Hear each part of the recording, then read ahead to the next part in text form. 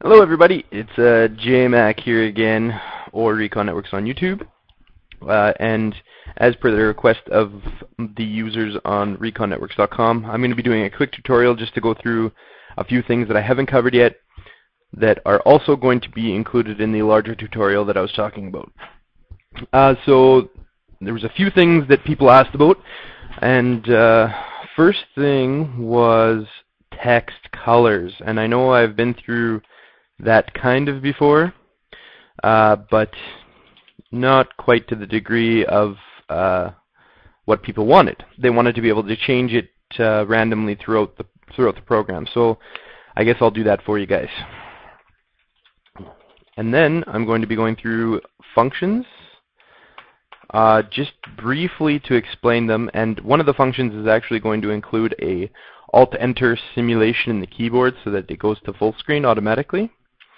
Uh, so that'll be pretty cool. And uh, what else did I want to cover? Oh, and I was also going to cover a quick pointers.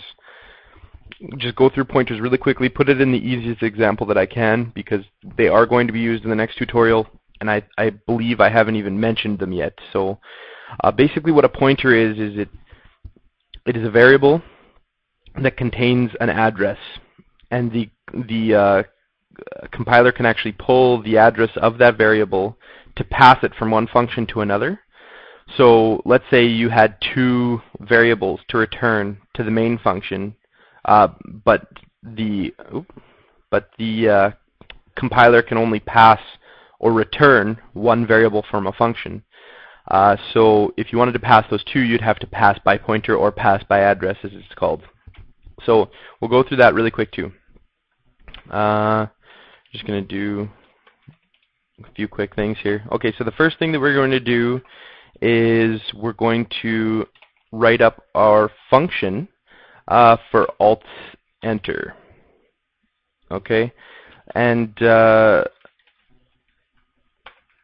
so as you can see, this looks just like the main section, the main code section.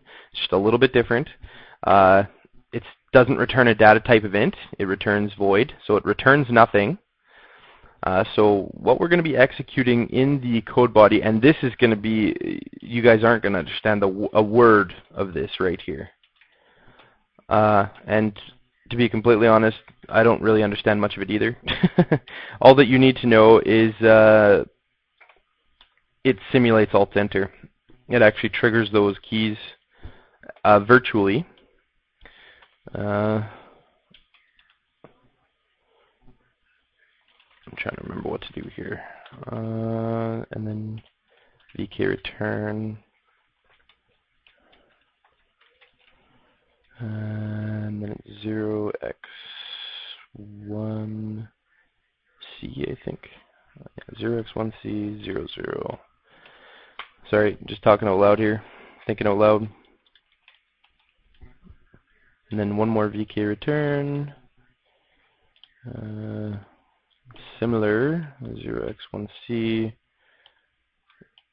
key event f key key up oh geez key up and 0 and keyboard event vk menu 0 x38 key event f key up 0. So basically all this function does is it uh, it simulates Alt-Enter. So now we're going to want to call that in the main function. Otherwise it's going to do nothing because it's void. So we're going to need above the main code section you actually need to declare it. So you'd have to go void alt enter just like that, and you have to have the semicolon after it, and then you'd be calling void alt enter again in the main code section. Okay, so that is that should make it uh, full screen. Uh, Wire WireX is saying hello. Uh, okay, so um, the next thing that I wanted to do is I'm just going to do the quick the quick pointer thing. Uh, we'll do void pointer func and then we'll do int star, and star means the address of, uh, or actually it means pointer. Uh, pi pointer 1, and then int star pi pointer 2. And all this does is it declares those variables. Okay, so let's say uh, uh, int i1, int i2, and then uh, we'll just do int, uh, let's just declare one pointer here. And then we'll do uh, star pi pointer 1 equals int i1 times, oops, whoa, what am I doing here?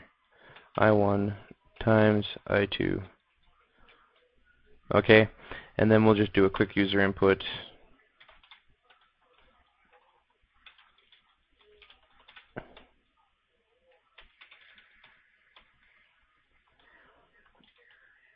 Uh, just like that, and then cin i1 and i2. Okay, and then star pi pointer equal, equals those two times each other or whatever. So then we're going to be going back to this. So now this is good. So all we need to do, just like we did before, is declare it at the top. And then you're going to be recalling it inside. Actually, you know what? You don't put the void there, though. You take the void out. Okay, and then you'll be doing same idea, except it's a little bit different. Okay, so for this, you need to actually pull the address of that so that you're, because what this is, is basically a little program of its own, right?